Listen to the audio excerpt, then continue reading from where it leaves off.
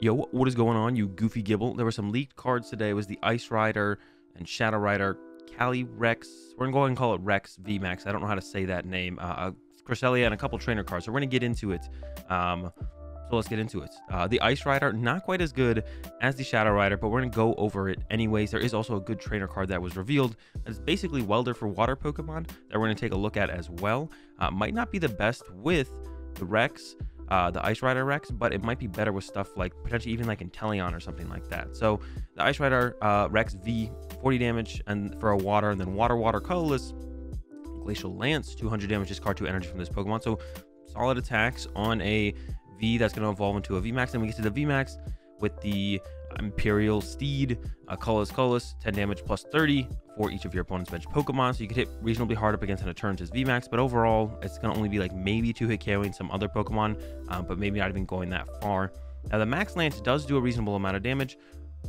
For Water Water, you may discard up to two energy cards from this Pokemon. If you do, this attack does 120 more damage for each energy discarded in this way. So you can get up to 250 damage, but it is capped at 250 damage. You can't do any more than that. You're stuck at 250 damage. So I don't really know how I feel about this one personally. Um, compared to the Shadow Rider, which we'll get to the, in a second, it's also weak to metal. So Zacian is still around, very powerful. Um, welder decks are also very popular, but uh, ADP Zacian and like LucMetal, Corviknight, that stuff is just as popular. And this is like would be a good time to play a water type deck, only if your deck can also handle ADP Zacian and everything like that. But I don't think this deck can really do that, so I don't see this being very good on release. And then when rotation hits, we lose Welder. So then Fire decks won't be very popular probably, uh, unless like the set immediately, uh, or our August set has a ton of Fire support for Fire Pokemon again. Then maybe this could see some play. But I don't see this deck seeing much play, or this card seeing much play for a while, if ever. Immediately when it releases, Zacian's still going to be popular. And then when rotation hits, Welder leaves. So Fire Fire decks aren't going to be popular. after rotation probably so there's really no space for this card i don't think in the meta um then we get down to the Shadow Rider, uh, Rex V. Uh, psychic energy, 10 damage. Your opponents can't play any special energy cards or stadium cards from their hand during their next turn. So that is just a ridiculously powerful attack on the V Pokemon. You go second, turn one, Shadow Mist. No special energy, no stadiums. There's a stadium coming out that they really don't want their opponent to play. Then we got Colorless, Colorless, Colorless, Astral Barrage. Put five damage counters on two of your opponent's Pokemon. So it's okay for Colorless, Colorless, Colorless, Colorless, Colorless, Colorless to have like that sniping attack is like a nice thing addition to just kind of have on a card. Um, but we get to the main broken part of uh, this this review here, which is the Shadow Rider VMAX ability Hellgate. Once during your turn, you may attach a Psychic Energy card from your hand to one of your bench Psychic Pokemon, then draw two cards. Yep, that's right. You attach it. You accelerate an energy into play from your hand and then you also draw two cards. So it has to be a psychic energy.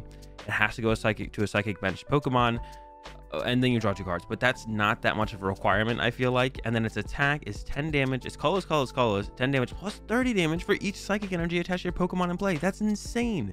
Oops. Uh, so you could basically set up four of these, put four extra energy in play in a turn, and then you're hitting. If you put five energy in play in a turn, you're hitting for 160 damage, which is absurd. Now it is weak to darkness, um, on the immediate release, we'll have Weakness Guard Energy. Weakness Guard Energy will rotate with rotation.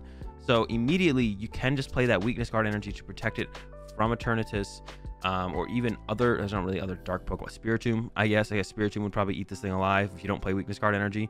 Um, but even then, you have like something like the Astral Barrage to potentially work out against Spiritomb. And you get a Weakness Guard Energy on this thing.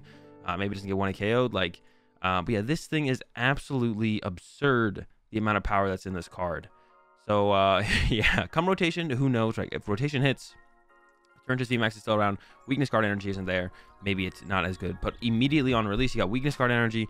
Um, or Eternatus right now hasn't been seen a whole ton of play, and maybe it stays that way. Maybe Eternatus stays kind of uh, not being played super uh, a ton, and um, this thing can just thrive in the meta. I mean, we got Urshifus that are currently weak to Psychic. I guess we do still have Jirachi GX, but even then, this being able to draw that many cards while accelerating energy and then having an attack that has unlimited damage that combos with your um your ability to put energy in play is just kind of absurd. It's like this card seems insane. I hope I'm wrong and it's kind of just a little bit more balanced than it seems. Of course, there's always times where people think think things, including myself, that are broken or not broken that end up being not broken or actually broken. And uh, hopefully, this is one of those where it seems ridiculously good and it's just kind of okay, right? Maybe there's enough stuff in the meta. Maybe you can't ramp out as well as it seems, um, and it's just kind of as good as some other cards. But hold up, let's get to some more of the cards. Gets a little bit more powerful as we read further. The Cresselia, I have no idea what it does, so we're gonna go ahead and take a look at it right now. Uh, Crescent Growth, search your deck for a Psychic Energy and attach it to one of your Pokemon, then shuffle your deck. If you go second on your first turn, you may attach three Psychic Energy to one of your Pokemon instead. Okay, that's pretty good actually. You could play this in this uh, in the Rex VMAX deck, and then you go. It's just like Flare Starter, I guess. Go second, three extra Psychic Energy and play. So it sounds like you'll be playing a couple of these alongside your Rex VMAXs, Shadow Rider Rex VMAX. Um, all right, Melony attach. This is basically the Water Welder. Attach a Water Energy from your discard pile to one of your Pokemon V, then draw three cards. So it's only one energy and it has to be from the discard pile, but that's almost a little bit better than Welder at times, or especially as you get further into the game, this is much better than Welder. Um, you draw three cards still, you only get one energy, and like I said, this card doesn't seem too ridiculously powerful right now. Only 250 damage on the second attack. Um, not feeling it too much, but I could see this being played in something like an Inteleon VMAX deck, or even um, yeah, Inteleon VMAX, or I'm trying to think of the other water VMAX. Inteleon VMAX. Inteleon VMAX is probably what you see it be played in. So yeah, I guess he's being played in like Inteleon VMAX or something like that. And uh, maybe you don't play Frostmoth anymore. You accelerate through Melony, um, which would be pretty cool. Honest to be honest, like you go turn one attach and you go turn two Melony plus attach, or even if you go second, you go turn on attach, Melony next turn Melony attach. And you just kind of use Melony from there. So Inteleon could kind of thrive without Frostmoth potentially, which would be really cool to see. So that could be really cool. I don't think it works out, like I said, I don't think it works out as great with the Ice Rider but uh, with uh, Inteleon, I could see it actually being pretty good. Yeah, the metal weakness is just a little bit too much, I think. All right, Fog Crystal. You may search your deck for either a basic Psychic Pokemon or, or Psychic Energy. Reveal it, put it in your hand, then shuffle your deck. It's one of those cards that's going to combo with that uh, Shadow Rider VMAX. That's kind of insane. That's like, it's basically a reprint of Nest Ball. Um, Nest Ball was it netball? Netball. Netball. Search your deck for a grass energy or a basic grass Pokemon, but for psychic Pokemon. And when you're printing a super powerful psychic Pokemon that wants to find their basics and then wants to find energy, uh, it's going to be played. So this is 100% going to be played in the Rex VMAX deck, and it seems just super good card. Just super good card.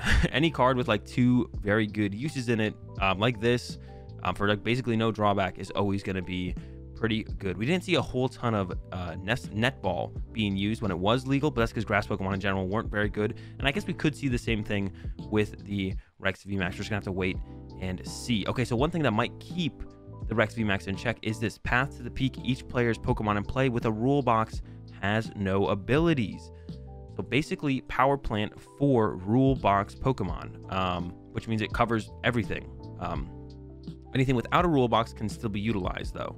Um, so this will shut down their ability. That's what I was thinking. The Shadow Mist actually is quite a big deal. If like you go second, turn one Shadow Mist, you stop them from putting the stadium in play, and then you get to go ahead um, and you know use your abilities at least for one turn. But this is super cool. I'm super glad they printed this stadium. I think it's a really good stadium to be printed. I think it'll force a lot of decks to play more stadiums.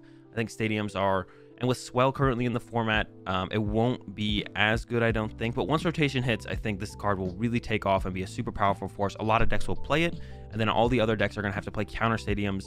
And then when the when there's two decks that go up against each other that don't play Path to the Peak, they'll have their stadiums to kind of have like a stadium war against each other as well. So I think this card is super cool and super happy to see them print it. I think it definitely promotes uh, a lot of play around stadiums, which has been a little bit eh lately because the two stadiums that we only really see being played right now are Swell and Hearth because Hearth is so good and Swell is really good at countering Hearth. And that's basically it you see for Stadium. Sometimes you see Training Court, but it's like not a huge impact on the game like the other two are. Um, and with Swell still in the format, I have a feeling this won't be as good, but once rotation hits, um, we'll definitely see a ton of play out of this card. I think I think it'll be played a lot. This, this stadium will be played right when it hits, but it won't be. Uh, it won't have the same impact because Swell is still in the format. But once rotation hits, we lose Swell. This card is going to take off for sure. Um, and then we got Old Cemetery, which is whenever a player attaches an energy from their hand to one of their Pokemon, excluding Psychic Pokemon, put two damage counters on that Pokemon. So already, um, also the Shadow Rider, they already have a great stadium to play to counter the path to the peak stadium in this Old Cemetery. So this thing is getting an insane amount of support in this one set. Uh, it's scary. I hope it's not as good as it seems, but it seems like it's gonna be pretty busted. But we're gonna have to wait and see for sure because he's got this, you got the Cresselia, you got the the Fog Crystal, and you have the old cemetery, which basically is like, hmm, what was I to play as a stadium? And actually, you might play Swell initially, anyways. I think because Swell is to keep this out of play uh, more aggressively, which is what you probably want. Um, so you probably won't play old cemetery until rotation. Once rotation hits, you'll probably play the older uh, the old cemetery. But for immediate release, you're probably going to be playing Swells in the Shadow Rider deck. But uh, yeah, this card seems insanely broken. The other one, the Ice Rider, eh, not really. It's, it seems okay. not really. It's weak to metal. And then when rotation hits, we lose Welder. So our fire deck's even going to exist. Don't know, right? But this seems like a consistently powerful card, irrelevant of typing. Um, the only thing is it does it is weak to dark. Currently, we have weakness guard energy. When rotation hits, we'll lose it. Will that make a difference? We'll have to find out. But yeah, this card's insane. I hope it's not as good as it seems, like I was saying. Um, but yeah, those are the cards that were leaked. Took a look at them all. We'll see, man. This is supposed to come out in uh, June, the June set, I believe. So we're not too far away from that, two or three months. And then we'll see if uh, Shadow Rider kind of takes over the format or not. I hope not, but you never know. And uh, yeah, see you guys tomorrow.